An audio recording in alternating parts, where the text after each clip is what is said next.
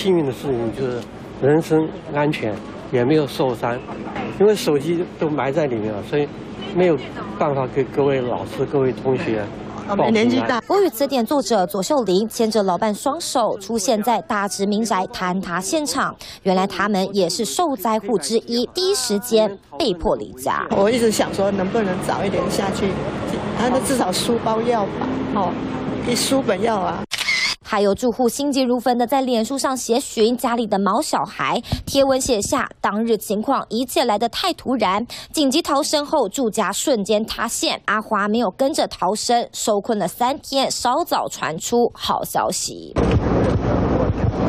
主人抱着阿花坐在椅子上，情绪激动到说不出话。在搜救人员的协助下，拆除障碍物围篱，才终于发现它。相关障碍物及围篱拆除之后，那我们再放回幼保笼之后，那施工的工人就有发现小花的踪迹。也有居民因为要出国念书，但护照放在家，搜救队也拿出双节梯确认安全无虞，破窗让他顺利进入。取得物品撤出之后，那也也。有发现这位屋主他有一些轻微的晕眩及有那种恶心的这个情况。眼前的老贝贝也很失落，重回家园却被挡在封锁线外。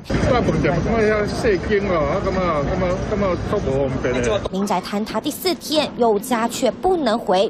最严重的单数号倾斜角度维持在三十五度，没有再改变。只是双数号居民要回家，就算有电有瓦斯，但家真的安全吗？